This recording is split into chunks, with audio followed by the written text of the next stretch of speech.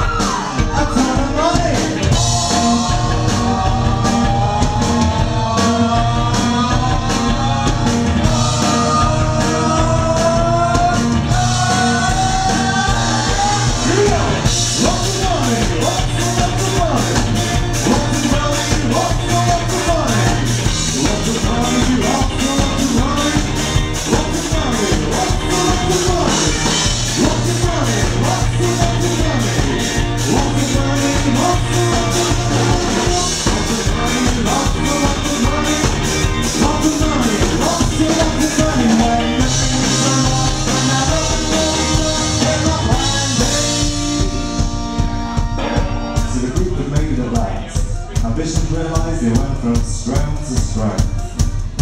Fans and critics growing in their appreciation of their highly original sound, and public columns followed.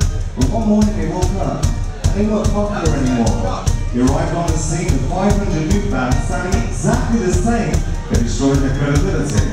The press lost interest, the label dropped them, and the manager Where's Martin? disappeared with the money.